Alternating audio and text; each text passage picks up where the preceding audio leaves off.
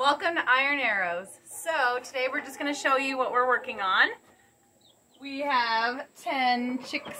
We we saw Rhode Island Reds at Tractor Supply and couldn't resist. We got seven of those and we got three Golden Comets. And then over here we have a project. It's a deep freezer. So the deep freezer stopped working. So, So um, I took off the um, heat sensor and the well the heat the thermal um, fuse and it was bad. I tested it with um, a multimeter and uh, it was definitely bad. I've also checked the starter switch.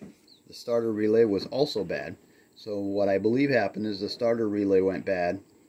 The compressor heated up and then it tripped the um, the thermal fuse. So buying both, you get them on Amazon, um, roughly ten dollars a piece, which is they come in a two pack, so that's good. So we are going to get them fixed. So the reason why this is in here is because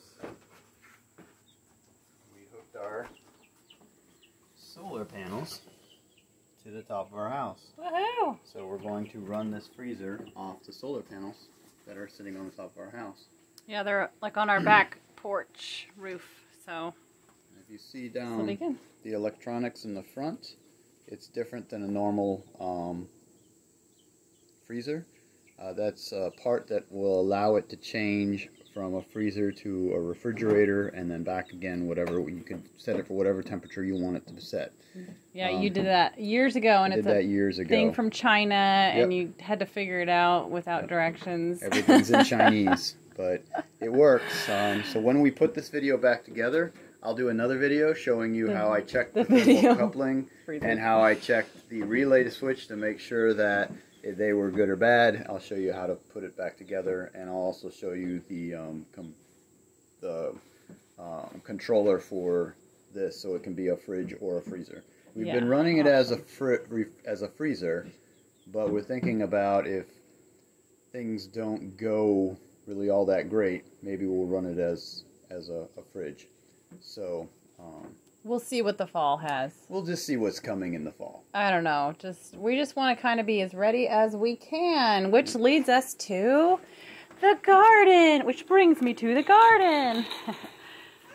we had some sod. We had to dig a French drain here. This is just a little side note and it's just a wet area. We put sod, but it was like the hottest week of the year.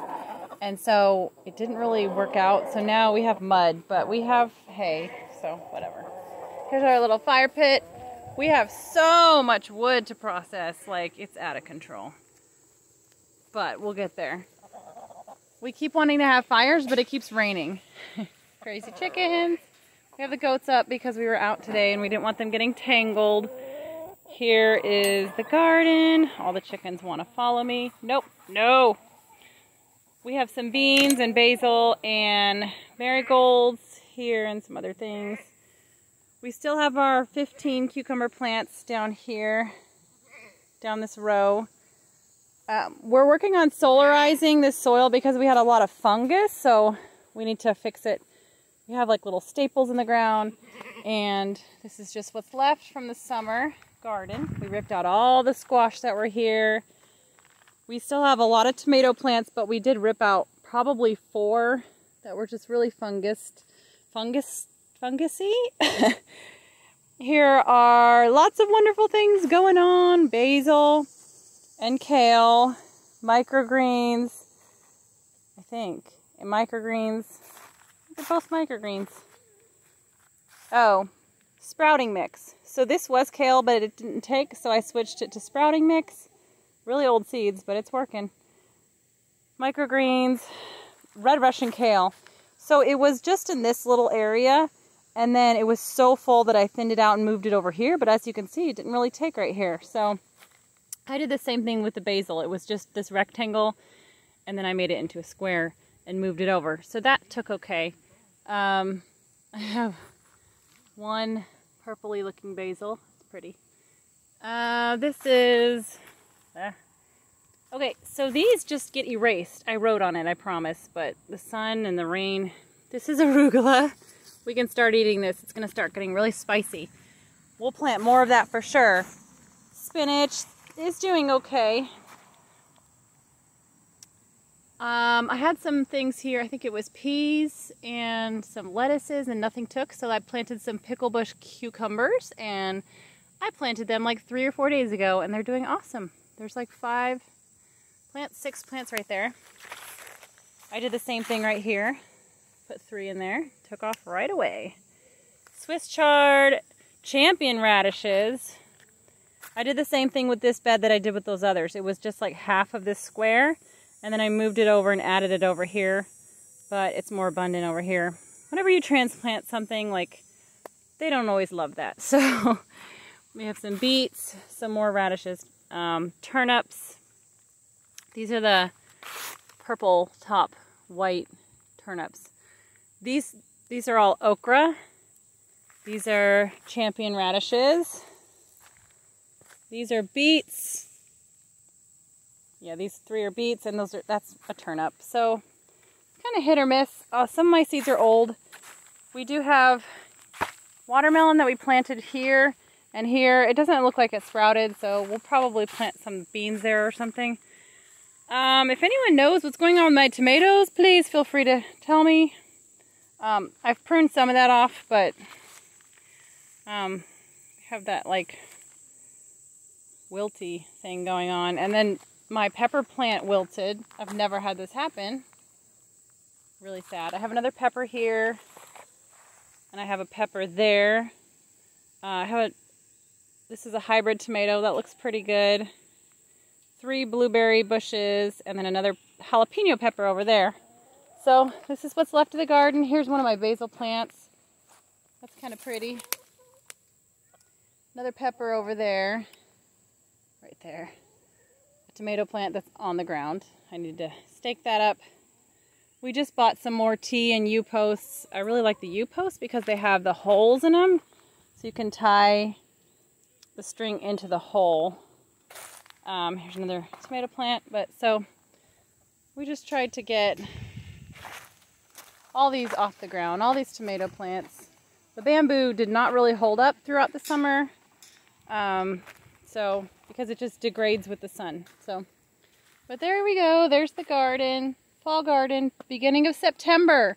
So I'm kind of loosely looking at planting by the moon. So last night was a full moon. So in the next few days, I'm going to start planting more wherever something didn't sprout.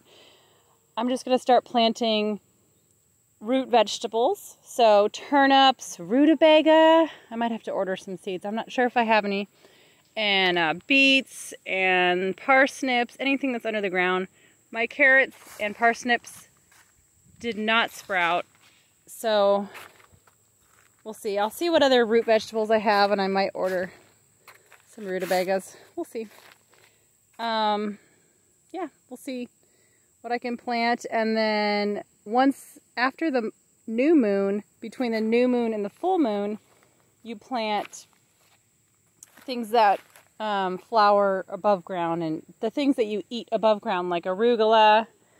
Um, what else would that be? Okra. So, arugula, okra, kale, spinach, basil, like the things that you eat that come above ground, cucumbers.